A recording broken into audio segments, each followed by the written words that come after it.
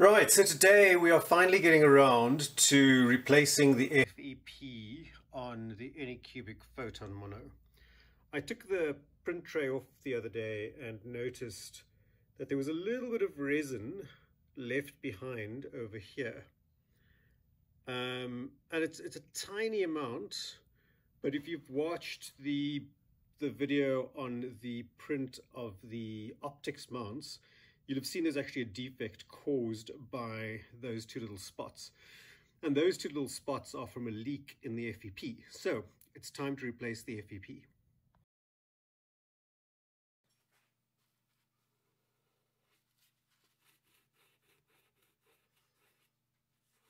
This is obviously set from the exposure to UV and so the critical bit here is not to scratch this is to just gently ease it off. I often find just using a gloved finger can get most of it off. Certainly not an implement of any sort.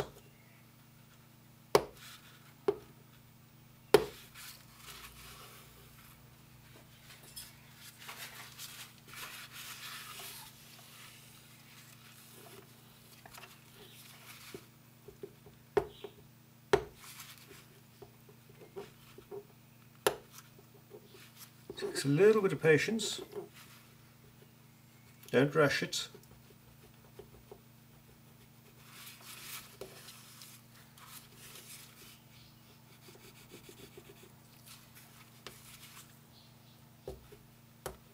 There we go.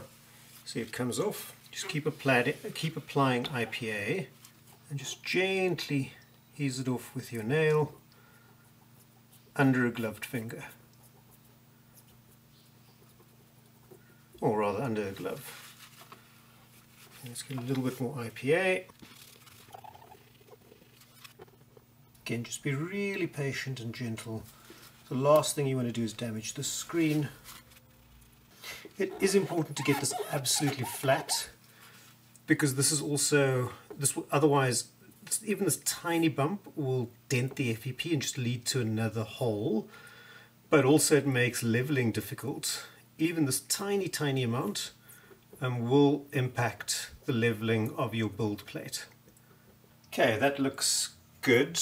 Um, there's a tiny little blemish on the surface still, but I'll come back and give that another round with a proper lint-free kind of optical cloth before I reinstall the, the tray.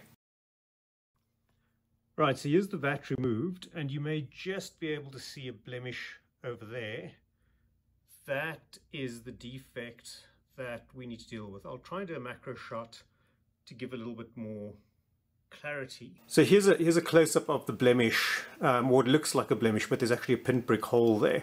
There's a little bit of cured resin which blocks the hole, um, and if you take that off, then the FEP leaks and you, you end up with the little blemish that we saw on the screen. Or if you leave it there, then you end up with a defect in the part like you saw in the last video. Right, let's start replacing the FEP by first taking out the old one. Um, in all transparency, I have never done this before, um, so I am learning as you are observing. Um, what I do know is the vat body is made of plastic, and so I wouldn't start with power tools. Um, get a 2mm Allen key, these are metric, 2 millimeters, um, or a you know, screwdriver, but do it by hand. Two millimeters is roughly the same as kind of 5 64ths. Um, and let's take them all loose by hand. I start with an Allen key just to kind of break the, the initial resistance and then you can take it out with a screwdriver afterwards. And you can see once you get past that initial resistance, which the Allen key is really helpful for with, with the leverage that it provides, um, they go pretty easily.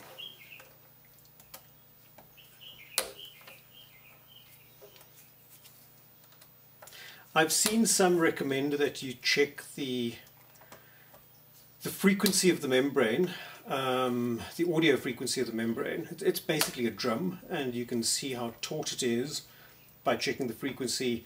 I downloaded an app on my phone and it seems to produce a range of frequencies between about 400 hertz and 1 kilohertz and then nothing really higher than that. So it seems that that's kind of the range we would want when we're done. But again, not particularly scientific. Okay, so that's all loose. You can see the membrane starting to be loose already. We just take these out.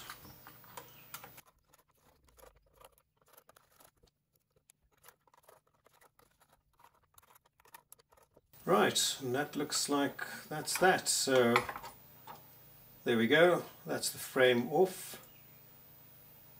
And the membrane is just sandwiched between those two by the looks of it.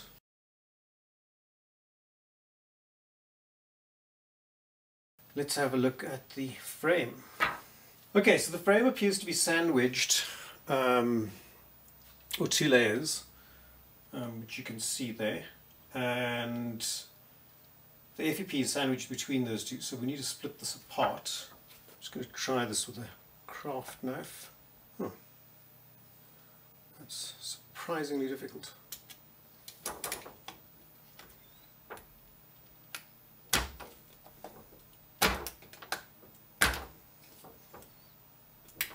Okay, it seems that some of these are actually bonded with his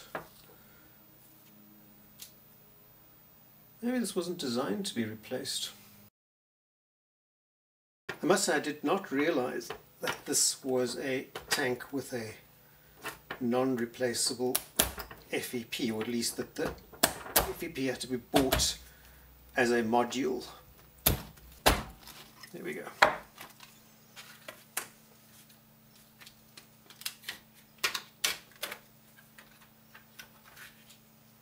Okay, so I think in theory if we clean this up a little bit we should be able to then put some new holes in and screw it back together. Okay, let's start by marking out roughly where we want the screws to be. Um, so somewhere in that range, somewhere there, somewhere there.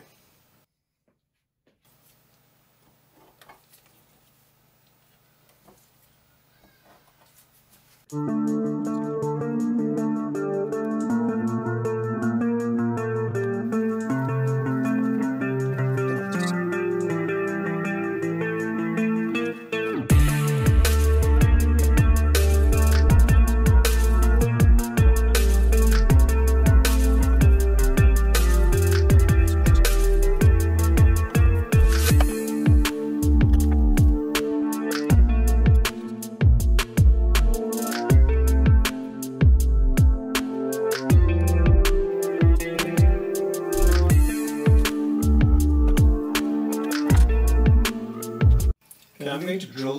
these as M3s. Um, so we start by drilling out a 2.5 millimeter hole.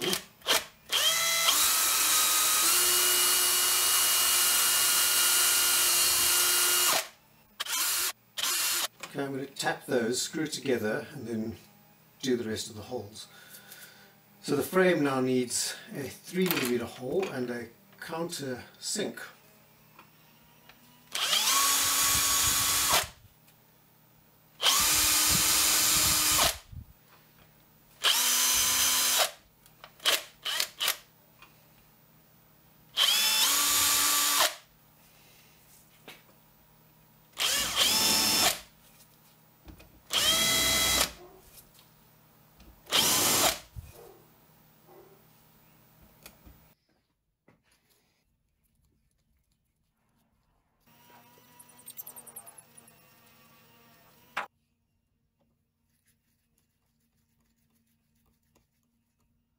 Isn't that beautiful?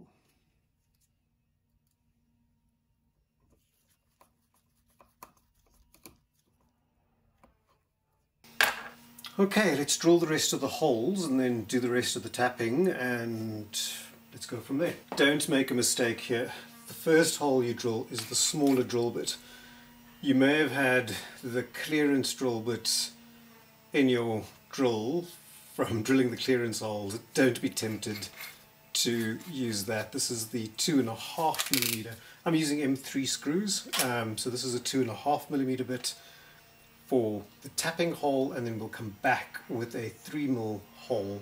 Should actually use 3.2 for a little bit of clearance um, for the rest.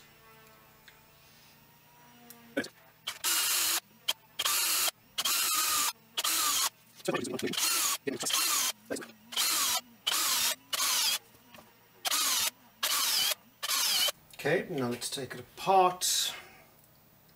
Do the three more holes. By the way, these plastic threaded holes are never going to last for hundreds of cycles, but for the 5 or 10 FEP replacements that I will probably end up doing on this printer, they're fine. Okay, we remove the base. Now we do the clearance hole.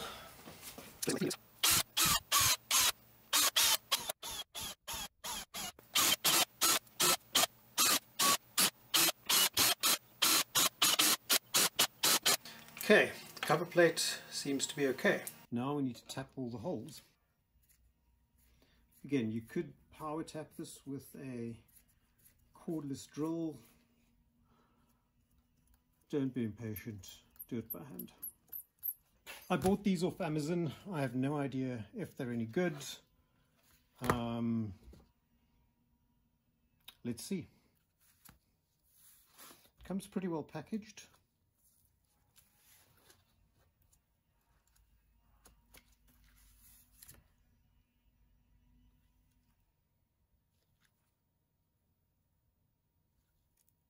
Okay, we now need to make some holes in the FEP. Um, it's got two protective sheets on either side, so we'll do that with the two protective sheets. Then we will remove the protective sheet, fit it, and let's hope it works.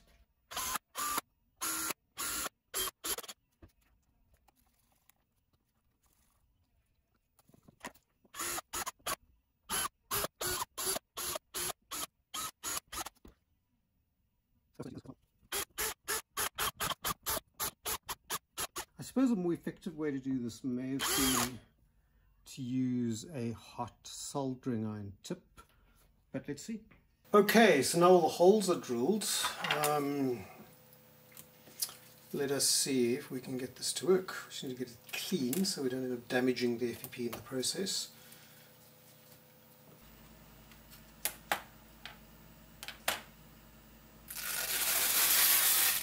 peeling off the protective layer. Remember there's a layer on two sides.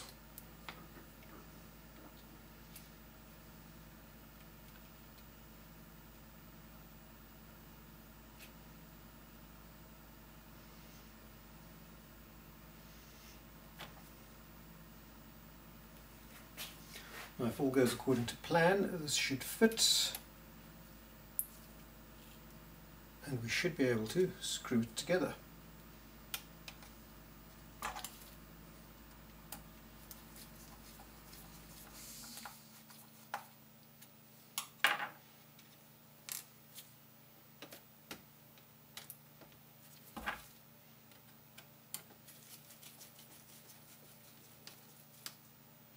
I have no idea if there's a better or worse sequence in which to tighten these.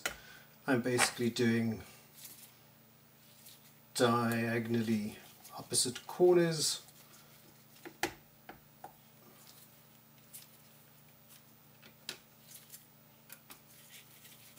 And then of course there's still no guarantee this will actually work when we fit it to the tray. The stresses of fitting it to the tray may just be too much.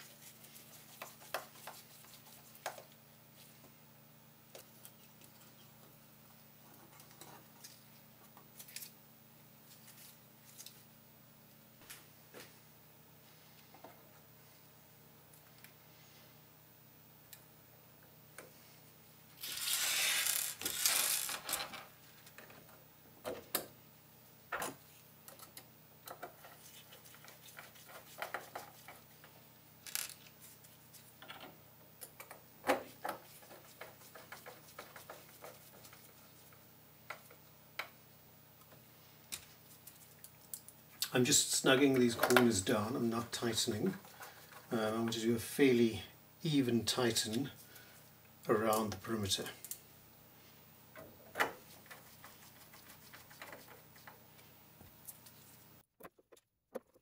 It's sounding tight.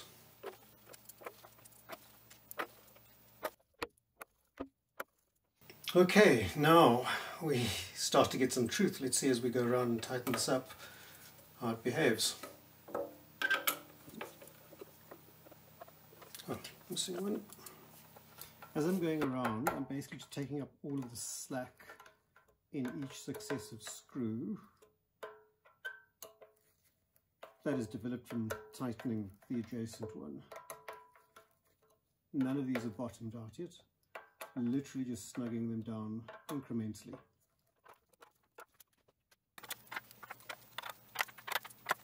Apparently the commercial replacement, the third-party tanks all have steel rings which make the replacement a lot easier and maybe at some point I will make that or actually it's probably just cheaper to buy a third-party tank.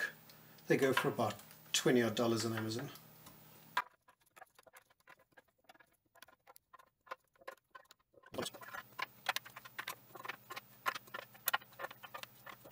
Again, don't be in a hurry. Take your time. Have patience. Okay, and it looks like we are done.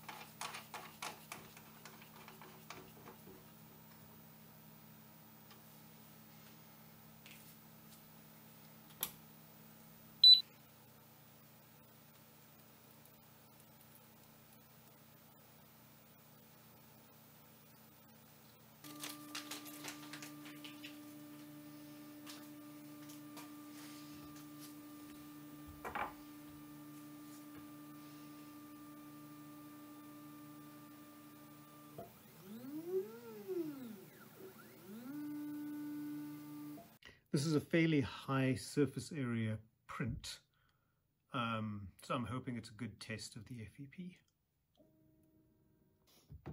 Okay, there we have it. It looks like we have a successful build.